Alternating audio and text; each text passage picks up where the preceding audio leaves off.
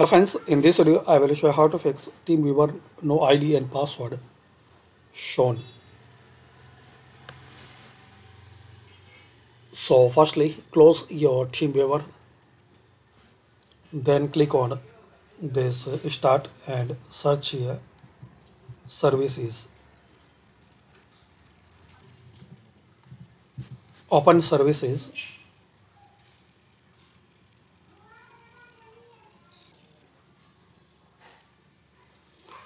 now in this list guys you have to find out uh, TeamViewer.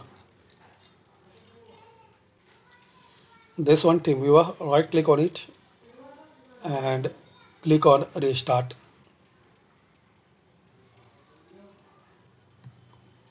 Now close and reopen your TeamViewer.